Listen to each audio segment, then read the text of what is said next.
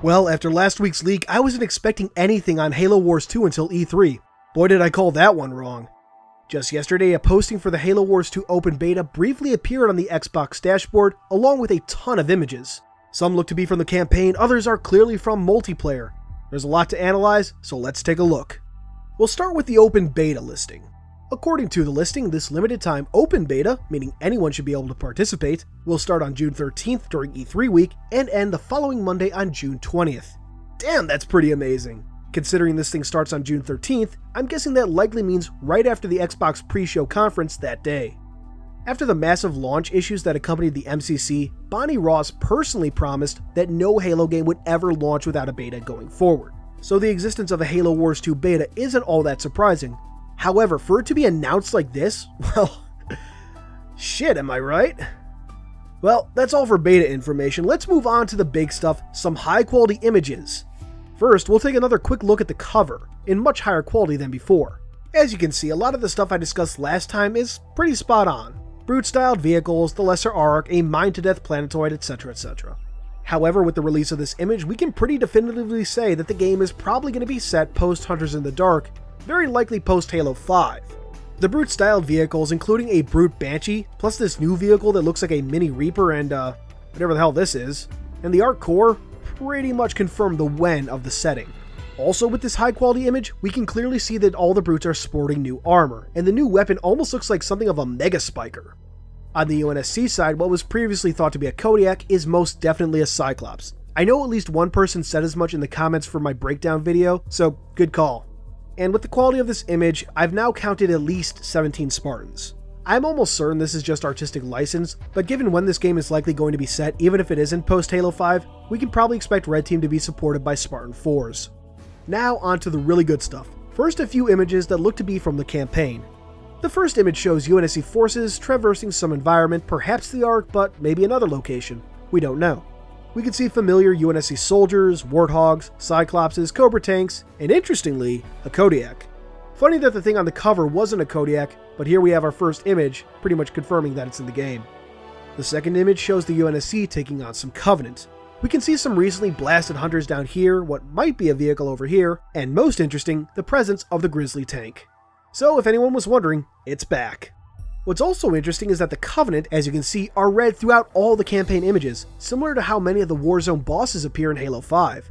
I always found that decision to be kind of funny, so I'm wondering if now we might see why the UNSC chose red rather than more familiar colors for some of their bosses. Moving on, we have more UNSC forces just moving along, what looks to be a damaged one of those Reaper-like things we saw in the cover art, and a Pelican. It's hard to say whether we'll actually be using these like we would a Sparrowhawk or a Vulture, but they are present, and to the delight of some people I'm sure, they're in the Covenant War era style. Last thing on this image, you can see what's most likely a Spartan carrying the classic rocket launcher over here.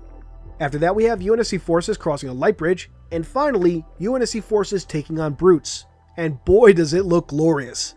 We can see that the Brutes are supported by Grunts, so we know it just won't be Brutes in Halo Wars 2. And in the bottom right, a Grizzly with a missile launcher as if they weren't overpowered enough. So lots of interesting stuff for the campaign. Regarding the art style, while I wish the models could look a bit more detailed, similar to what we saw in some of the early builds of Halo Wars 1, they do have a solid color palette for both armies that stand out but allow for noticeable detail. Now let's take a look at images that are more than likely for the multiplayer. Our first image features, quite prominently, one of those Reaper things again. It fits this new brutish aesthetic of the Covenant vehicles, but it has something of a Promethean feel to it too. So I wonder if maybe it is something that was given to the brutes by the created. We'll see.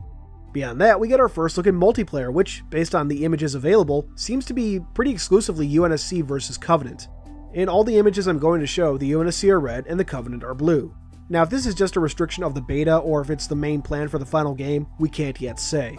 I'm hoping it's a beta only restriction though, the original Halo Wars had a number of leaders to pick from to freshen things up, but seven years on, I would hope that a sequel would have more than just two factions, even with multiple leaders. Anyway, back to the image. On the Covenant side, we can see brutes, grunts, hunters, and surprisingly, an honor guard Sangheili. In the background, we can see the brute locust, and in the foreground, a brute ghost. Just a note, these aren't official names, I'm just gonna call them brute whatever for the sake of discussion. Anyway, what really seems to have caught people's eyes is what is driving that ghost, which we can clearly see is an elite with Halo 2 Anniversary style armor. So yes, the classic elites are back. On the UNSC side, we have basic Marines and flamethrower units. Our next image shows Covenant forces running around a very alien environment. This could either mean that Halo Wars 2 has multiple locations, or that environments on the Ark will be varied. Either is pretty exciting in my opinion. Pausing a moment, I really hope we get to see some ambient life this time around, and if so, I hope they'll actually attack you or enemy forces. I'm just thinking back to Hunters in the Dark and all the beasts and creatures the UNSC and Sangheili forces had to deal with, and how cool it would be to see that stuff happen in Halo Wars 2. Back to the image, there's nothing really else new to discuss, but we do get a better look at the Brute Locust, the head of which heavily reminds me of the Halo 2 Anniversary multiplayer Heretic Banshee. I think we also get our best look at the Brutes in this image, with the armor they're wearing seeming to resemble something between Halo 2 and Halo Reach. Our next image features some flamethrower units burning the hell out of what I presume to be a ghost. We can also see some other ghosts nearby, and looking at them, you can see that the basic geometry seems to be based on the Type 54 ghost from Halo 5. Near those ghosts is what looks to be a Brute Wraith, which also looks to be based on the Halo 5 version, the Type 58. To the right of that, we can see a destroyed Forerunner structure of some kind, and at the bottom, UNSC forces coming to back up the flamethrowers. The environment looks very much like what we saw in the Ark in Halo 3, which makes me wonder if we'll see some familiar locations. I talked before about the structure that looked to be the Citadel in the cover art, and I wonder if maybe this area could be near the Ark's cartographer. Our next image shows UNSC forces on a Forerunner platform of some kind. The glowing bit reminds me a bit of the circular structures on Coliseum. Given the way it looks, I wonder if this might be a giant telepad of some kind.